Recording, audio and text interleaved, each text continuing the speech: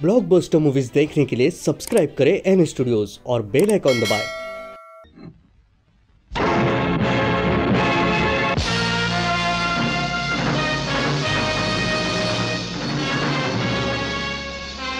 आज police department ने मुझे एक फ़ाइल दी है जिसमें आप लोगों के जुर्म के साथ साथ मेरे डैडी इंस्पेक्टर विजय वर्मा का खून भी दर्ज हो गया है मुझे पूरा यकीन है कि यह खून भी आप ही लोगों ने किया है। मगर मेरे पास कोई सबूत नहीं है। मगर यह सबूत बहुत जल्द मिल जाएगा। इसलिए कि अगर यह सबूत पहाड़ के नीचे भी दबे हुए हों तो भी मैं उन्हें ढूंढ कर निकाल लूँगा। नौजवान, तुम अभी बच्चे हो ना समझ हो। गुस्से और जज्बात से काम लोगे तो पछताओगे। हमारी मानो तो इन चक्करों में मत पड़ो, अपनी ट्रांसफ़र कहीं करा लो। यही बात हमने तुम्हारे स्वर्गीय पिताजी को भी समझाई थी, लेकिन वो नहीं समझे। इसलिए तुम समझ जाओ। Anyway come on have a drink हम तुम्हारे बहुत काम आ सकते हैं। लो, ले लो।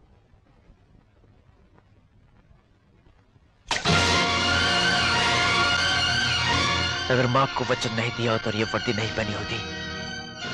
तो मैं आज तुम्हें मार डालता।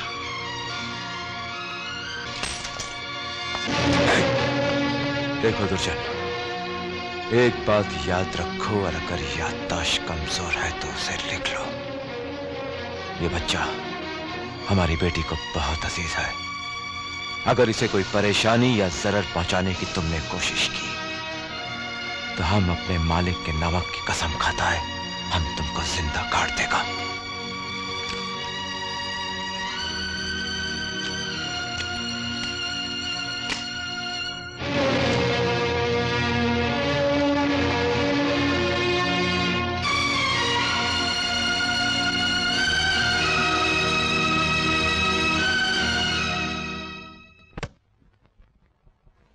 जानते हो ये क्या है?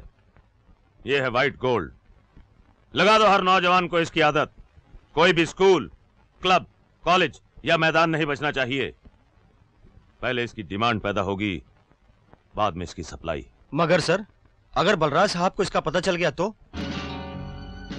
कीर्ति नेवला सांप को मारने से पहले काफ़ी देर तक उसे छेड़ता है। उसे गुस्सा दिलाता है।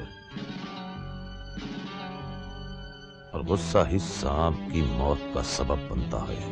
तुम मुझे जान से भी मार डालो तब भी ये ड्रग्स ये जहर अपने बच्चों को नहीं बेचूँगा। मैंने ये जगह इनके मनोरंजन के लिए बनाई है। इन्हें बर्बाद करने के लिए नहीं चले जाओ यहाँ से। ऐसे गए गए हम यहाँ से चले तो जाएँगे मगर तुझे इस जगह के साथ ज़िंदा जलाकर। जो आग से खेलते हैं। वो चलने से नहीं डरते। अरे वो बच्चे जाओ थोड़ा सा दूध पी करा ईमानदारी के पैसों से खरीदे हुए दूध में कितनी ताकत होती है। देख।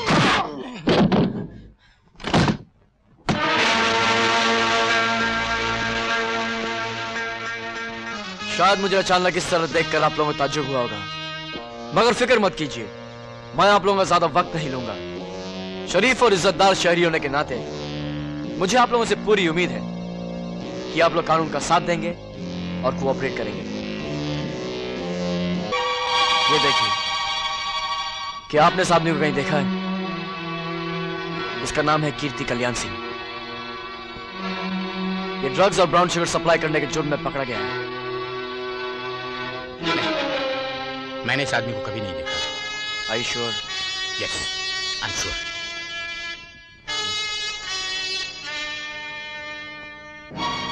शायद आपने कहीं देखा हो। नहीं। मैंने इस आदमी को कभी नहीं देखा। याद कीजिए शायद याद आ जाए। नौजवान मेरी याददाश्त बहुत अच्छी है। देखा होता तो याद आ जाता। आप लोगों की याददाश्त कितनी अच्छी है। अभी पता चल जाएगा।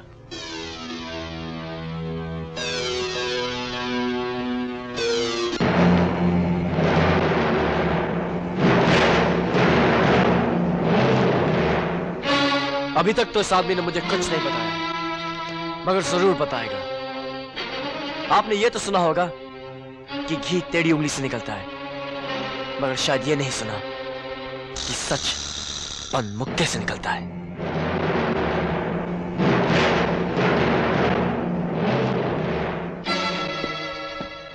तुम अच्छी तरह जानते हो मैं ड्रग्स के बिज़नेस के खिलाफ हूँ।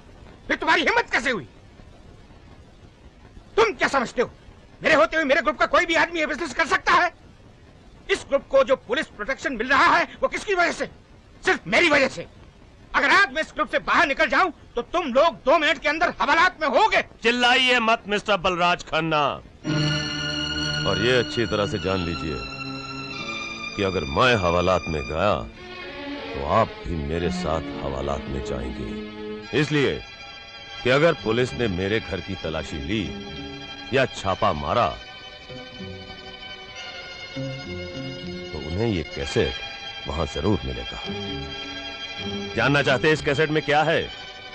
इस कैसेट में आपकी और मेरी पार्टनरशिप का कॉन्ट्रैक्ट है, जो अब सिर्फ़ फांसी के फंदे से टूट सकता है। सुनेंगे?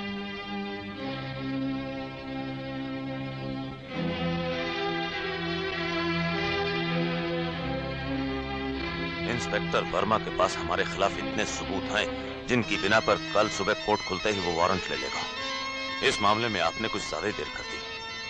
लेकिन अभी वक्त है पर बहुत कम। बोलिए क्या करूँ? दुर्जन तुम जो ठीक समझो करो। बलराज साहब आप हमारे लीडर हैं। जो आप कहेंगे वही होगा। ठीक है। हटा दो उसे हमारे रास्ते से। चले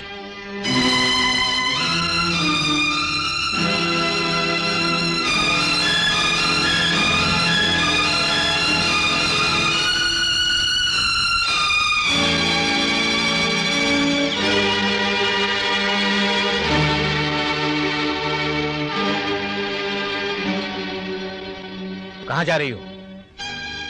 ये घर छोड़ के जा रही हूँ। क्यों? क्या हुआ? क्या तकलीफ़ है तुम्हें इस घर में? इस घर से मुझे खून की बू आने लगी है। मेरे पास पहेलियाँ पूछने का वक्त नहीं है। जो कहना चाहती हो साफ़ साफ़ कहो वरना सीधी ऊपर जाओ। मैंने भी आपकी टेप रिकॉर्डेड आवाज़ सुनी है।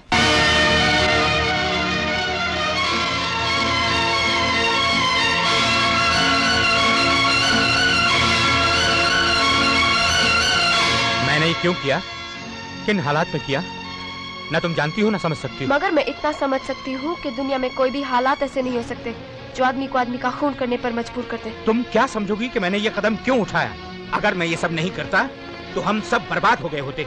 मैं बदनामी के साथ जेल में होता और तुम फुटपाथ पर। और हम दोनों शायद वहीं ज़्यादा खुश रहते। बातें करना आसान है। तुम क्या जानो गुर्बत क्या होती है? मैं भी एक ईमानदार और मेहनती आदमी था। मगर वो ईमानदारी और मेहनत मुझे इतने पैसे नहीं दिला सके जिससे मैं तुम्हारी माँ को बचा सकता। वो तुम्हें पैदा करके फुटपाथ पर तड़प तड़प कर मर गई। और उस दिन मैंने कसम खाई कि मैं तुम पर कभी गुर्बत का साया नहीं पड़ने दूँगा। अगर ये सब आपने मेरे लिए किया है तो सुन लीजिए मुझे इस तरह कमाए हुए पैसों की एक फूटी कौड़ी नहीं चाहिए। गुड बाय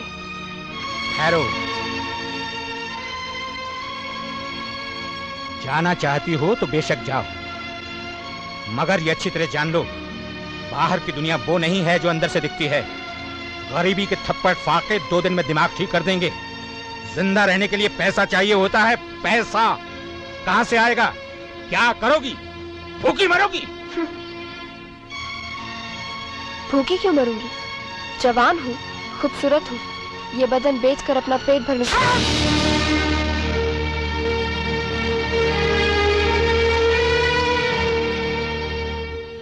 खुशी हुई ये देखकर कि आपकी गैरत आपका जमीर अब तक ज़िंदा है। फ़िक्र मत कीजिए। मैं कोई ऐसा काम नहीं करूँगी जिसकी वजह से अपनी नज़रों में आपकी नज़रों में गिर जाऊँ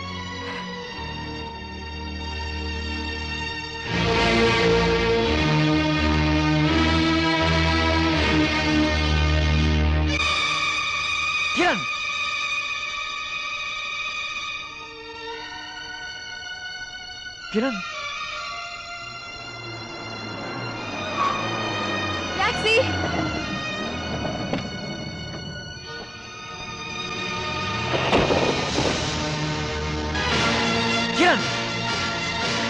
मेरी बात सुनो किरण किरण किरण मेरी बात सुनो किरण मेरी बात सुनो किरण किरण किरण मेरी बात सुनो वो आपसे मिलना नहीं चाहती? मगर मेरा उनसे मिलना बहुत ज़रूरी है। पर वो आपसे मिलना नहीं चाहती तो हम क्या कर सकते हैं? उनसे प्लीज़ कहिए कि देखिए आप यहाँ से जाइए नहीं तो मैं मैडम को बुलाती हूँ। प्लीज़ जाइए। Okay okay. okay.